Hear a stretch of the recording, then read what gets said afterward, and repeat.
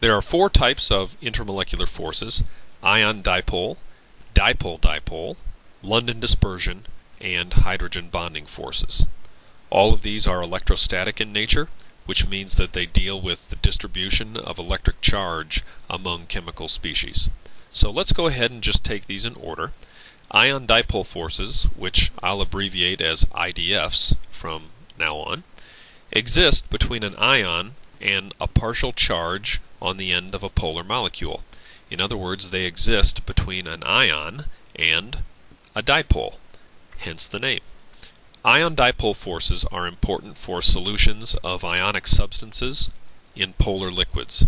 For example, an aqueous solution of potassium chloride, which has lots of water in it.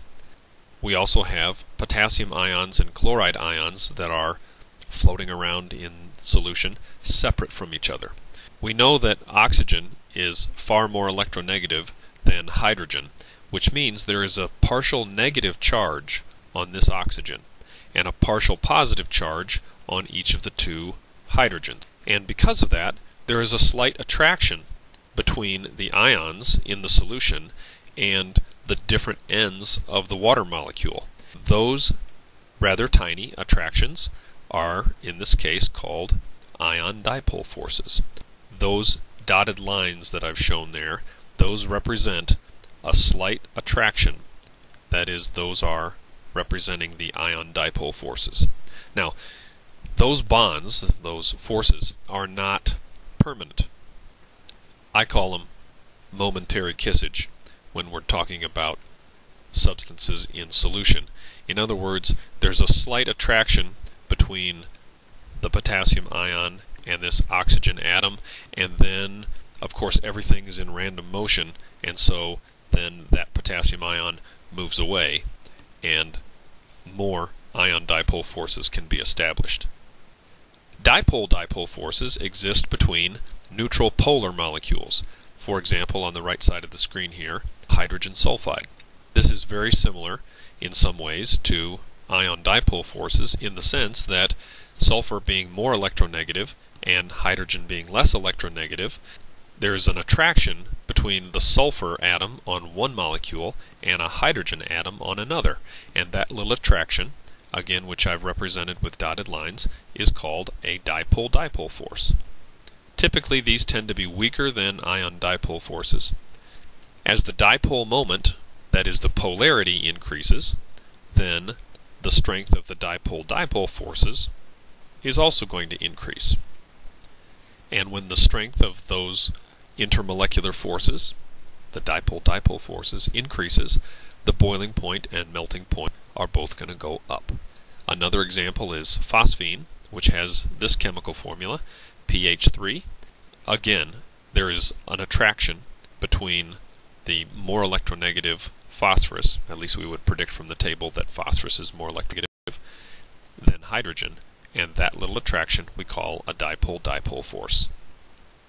London dispersion forces exist between all molecules, but are the only forces between nonpolar molecules. And you can see in the upper right there, I have an actual photograph of some London dispersion forces. When we're talking about LDFs, this is what we're dealing with. The motion of electrons causes instantaneous dipoles, which induce dipoles on nearby molecules. London dispersion forces increase with increasing molar mass. Let's use a very bad analogy to try and illustrate this point.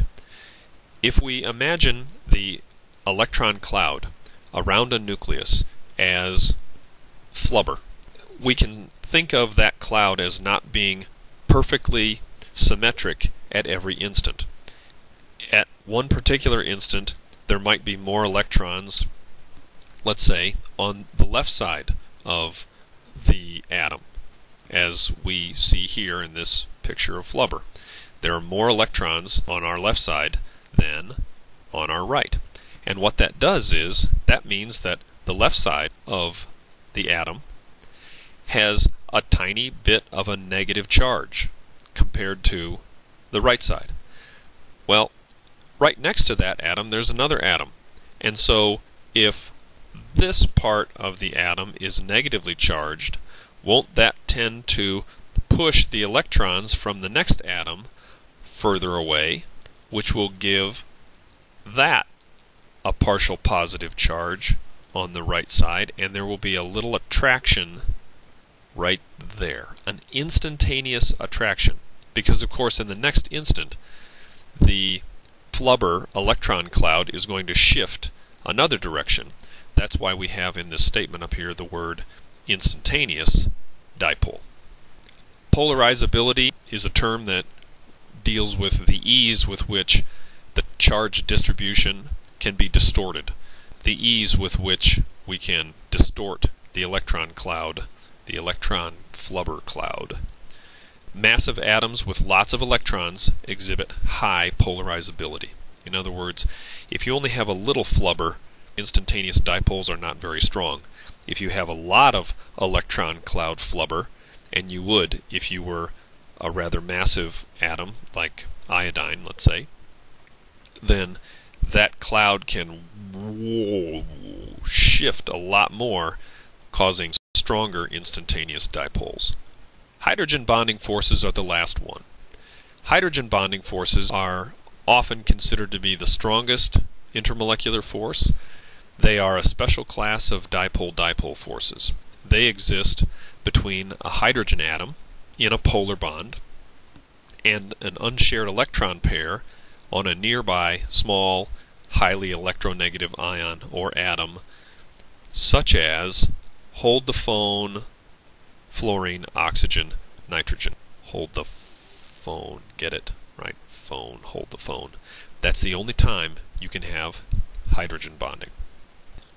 In other words, the bare proton of hydrogen is attracted to unshared electron pairs on neighboring molecules. And the small size of that bare proton allows close proximity, which allows for a strong bond. Hydrogen bonding forces are important in many structures, including that of proteins and DNA. Let's summarize ion dipole forces, dipole-dipole forces, London dispersion forces, and hydrogen bonding. Ion dipole forces exist between ions and solvent molecules for salts dissolved in polar liquids. Dipole-dipole forces exist between polar molecules, but not for polar molecules with HF or HO or HN bonds.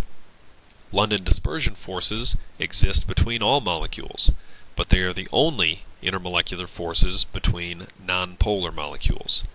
London dispersion forces increase with increasing molecular mass, that is, with increasing number of electrons.